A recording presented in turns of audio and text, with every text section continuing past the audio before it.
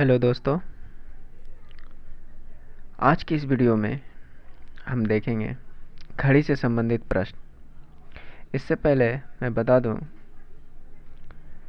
मैं मंडल जी study once पर आपका स्वागत करता हूँ। और देखिए इस वीडियो में कैसे घड़ी से संबंधित जो कोण निकालने के लिए कह दिया जाता है, उस तरह, इस तरह के प्रश्नों को कैसे बहुत जल्दी आसानी से हल कर सकते हैं। चलिए देखते हैं, शुरू करते हैं। देखिए क्वेश्चन वन में कह रहा है, घड़ी में दो बजकर तीस मिनट पर कितने डिग्री का कोण बनेगा? तो आप, आपको इसके लिए एक फार्मूला याद रख लेना होगा, ताकि ये कम आ जाएगा। और ये प्रायः N T P C group D में पूछा जाता है ये क्वेश्चंस इसलिए आप इन क्वेश्चंस को इग्नोर नहीं कर सकते हैं। इसलिए आपको सीखना ही होगा। तो चलिए देखते हैं कैसे इस तरह के प्रश्नों को बहुत जल्दी आसानी से कर सकते हैं। इसके लिए एक फार्मूला आपको रटना रटना क्या याद ही रख लीजिएगा। याद रखने का तो आप मोबाइल नंबर गर्लफ्रेंड का याद रख सकते हैं। तो ये फार्मूला क्या चीज़ है? चलिए करते हैं। तो करना क्या है? कौन निकालने के लिए लिखना है? ग्यारह गुना एम यानी मिनट बाय टू माइनस घंटा यानी घंटा गुना तीस। ये फार्मूला रख कर याद रख कर बहुत जल्दी आसानी से आप कौन निकाल सकते हैं, चाहे किसी भी तरह का कौन हो। यहाँ दो बजकर तीस मिनट कह रहा है, अब बारह बजकर पचास मिनट का भी कौन निकाल सकते हैं। और चलिए देखते हैं। तो ग्यारह एम के जगह पे क्या लिखेंगे? मिनट एम को मिनट से दर्शा रहे हैं। तो एम के जगह पे मिनट मिनट कितने हैं? तीस। नीचे में कितनी है? दो। माइनस घंटा, यानी हावर घंटा कितने हैं? दो। यानी जो दो बजकर तीस मिनट कह रहा था मिनट तीस को यहाँ फिट कर दिए। और घंटा जो दो बजकर लिखा हुआ है, दो को यहाँ पर फिट कर देंगे इंटू तेईस।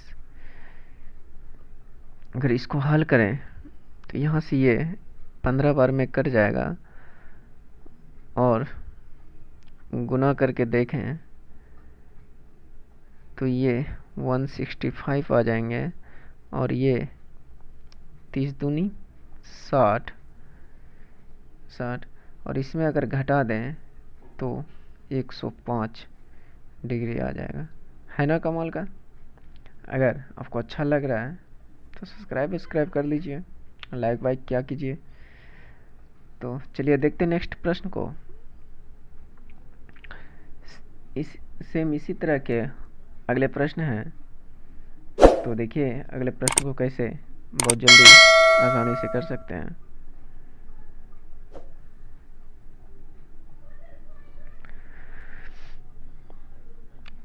नेक्स्ट प्रश्न में कह रहा है, सायंकाल चार बजकर तीस बजे घड़ी की दो सुइयों के बीच कितनी डिग्री का कौन बनेगा? बस इसमें भी कुछ नहीं करना है, बस वही फॉर्मूला वही मंत्र लिख लेना है। ग्यारह गुने में एम बाय टू माइनस घंटा गुने में तीस। यही करना है और इस पर रख दीजिए और आसानी से निकाल सकते हैं। तो चार बजकर तीस मिनट कह रहे हैं। मिनट ग्यारह, मिनट कितने लेना है? तीस। तो यहाँ पे तीस फुट कर देंगे। नीचे में दो है तो दो रख देंगे। घंटा कितने दिए गए हैं? चार। चार इंटू थर्टी। तो यहाँ से इसको हल करेंगे तो ये पंद्रह, इसको यहाँ से गुना करेंगे तो वन सिक्सटी फाइव आ जाएँगे और माइनस में ये कितने हो जाएँगे? चालीस तिहाई तीस चौके एक सौ बीस हो जाएगा। तो इसको अगर घटा लें तो ये फोर्टी फाइव डिग्री निकल कर आ जाएगा, जो कि इस प्रश्न का आंसर ऑप्शन नंबर ए होगा। चलिए देखते हैं नेक्स्ट प्रश्न को। इसी तरह से थोड़ा सा इसमें दिमाग लड़ाना है और थोड़ा सा कोशिश करना है एक्स्ट्रा सोचने का। तो चलिए करते हैं इन प्रश्नों को। देखिए, इस प्रश्न में कह रहा है, भारती को घड़ी में अभी, भारती की घड़ी में अभी बारह बजकर तीस हो रहा है तो दोनों सुइयों के बीच की कोण क्या होगी बस उसी तरह करना है। फार्मूला तो वही लिखेंगे, दूसरा कोई फार्मूला नहीं लिखेंगे। तो चलिए देखते हैं। ग्यारह गुना एम बाई टू माइनस घंटा गुना तीस। ये बार बार आपको एग्ज़ाम में लिखने का ज़रूरी नहीं है। बस एक बार याद तो कर लीजिए, उसके बाद तो आप बिना फार्मूला लिखे ही कर लीजिएगा। ग्यारह गुने में एम यानी मिनट तीस बाय टू माइनस घंटा कितने हैं? बारह गुने में तीस। तो यहाँ से ये कट कर कितने आ जाएँगे? वन सिक्सटी फाइव माइनस क्योंकि ये पंद्रह बार में कटेंगे और ग्यारह गुना पंद्रह होंगे तो वन सिक्सटी फाइव होंगे और ये तीन सौ साठ। तो इसमें करना क्या है? घटाएँगे तो उसी तरह। जैसे घटाते हैं, उसी तरह घटाना है। तो थोड़ा सा इसमें करना क्या है, अभी देखिएगा। बने रहिएगा वीडियो में और लास्ट तक देखिएगा और आप सीख कर ही जाइएगा। तो यहाँ से देखिए, इसको आप, इसको अगर आप घटाते हैं तो कितना आ जाएँगे? माइनस में आएँगे। लेकिन माइनस में नहीं, बड़े वाले में छोटे वाले को घटा देना है। तो बड़ा कौन सा है? तीन सौ साठ। और ये छोटा है। तो इसमें इसको घटाइएगा तो कितना आ जाएगा? Five nine one. One ninety five आ जाएगा। और ये ऑप्शन में तो है नहीं। अगर ऑप्शन में रहता तो मार देते।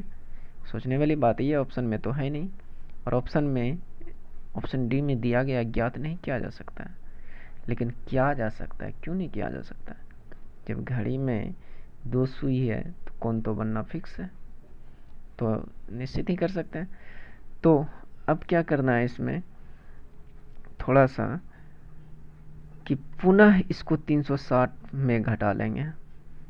360 में से पुनः 195 को घटा लेंगे।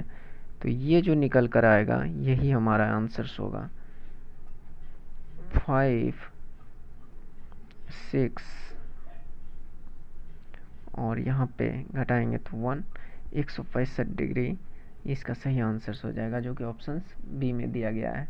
उम्मीद है कि आपको कौन कौन निकालने के लिए समझ में आ गया होगा। अगर अच्छा लगा होगा तो वीडियो को लाइक कर दीजिएगा और दोस्तों को शेयर भी कीजिएगा, जिससे उन्हें भी कुछ फ़ायदा हो जाए। तो थैंक यू। जय हिंद दोस्तों। मिलते हैं नेक्स्ट वीडियो में।